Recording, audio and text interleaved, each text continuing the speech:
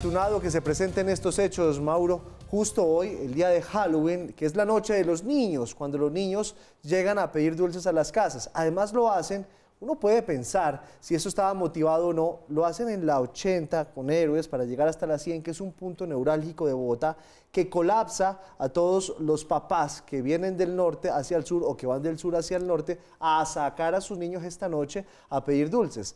Dos elementos, uno el trancón, llegan tarde, dos la violencia y el tercer elemento es pues la imagen, la noticia, hace que muchos no salgan. Le dañaron la noche a los niños. Giovanni, eh, arranquemos por recordar una vez más que nosotros somos conscientes de que la protesta es un derecho constitucionalmente protegido y que los motivos de la protesta generalmente son válidos por lo menos hasta que no se demuestre lo contrario. Pero hemos venido diciendo en el noticiero que hay dos cosas o tres cosas que nublan estas protestas.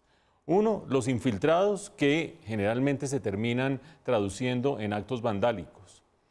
Dos, el que se terminen obstruyendo vías públicas, vías de transporte. Hoy hubo estaciones de Transmilenio cerradas. Ustedes vieron cómo estaba la autopista norte en este momento a la altura del Monumento de los Héroes, la calle 80 igualmente. De manera que se termina afectando a la comunidad de manera muy seria. Pero tres, agarren pues el caso de los niños. Es decir, Ustedes acaban de ver las tomas de las señoras llevando a los niños corriendo de un lado para otro en plena manifestación.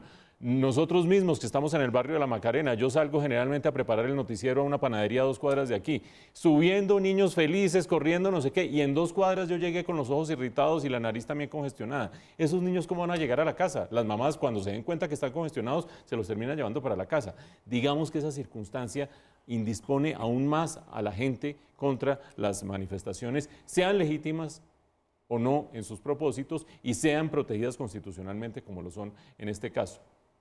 Ahora bien, tengan presente que aquí hay otra circunstancia muy, muy importante. Este era la primera marcha estudiantil, la de Bogotá, pero las de las demás ciudades del país, que se daba en Colombia después de los hechos que han venido aconteciendo en Chile.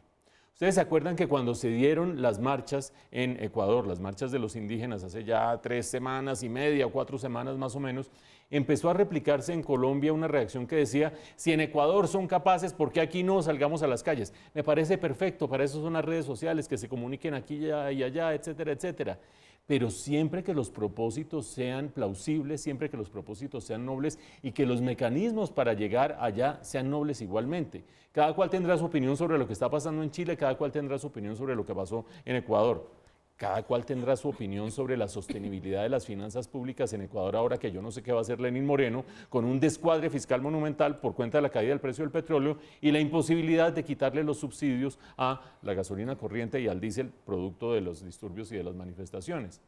Pero de cualquier manera, el que aquí hubiéramos tenido el primer día de manifestación después de los sucesos de Chile, yo creo que muestra en gran medida esta mm, cuestión variopinta y muchos grafitis y muchas banderas, no había generalmente tantas banderas, pero esto se vio en Chile, etcétera, etcétera. Un último punto al respecto, tiene que ver con los objetivos de la marcha. Los decía Liz en la nota, los dos principales, eh, eh, protesta contra la corrupción.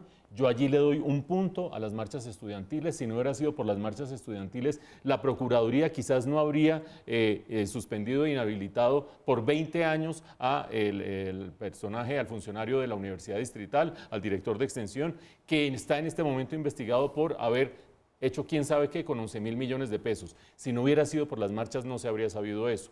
El otro objetivo, ahí sí yo estoy en desacuerdo, el otro objetivo es luchar, protestar contra el ESMAD y protestar por el derecho a eh, eh, terminar haciendo marchas. Por supuesto que es un derecho eh, constitucionalmente protegido, pero cuando vemos el caso de esas motos, cuando vemos el caso de esos actos vandálicos, cuando vemos el caso de enfrentamientos, cuando vemos el caso ustedes dirán que es una bobada, pero el tirársele la fiesta a los niños directamente, creo yo que salir y decir, y tengo derecho a protestar, y abajo el ESMAD y no sé qué, y mientras tanto bajo policías de una moto, los empiezo a agredir y termino quemando la moto, hmm, me parece que por ahí la cosa no funciona bien.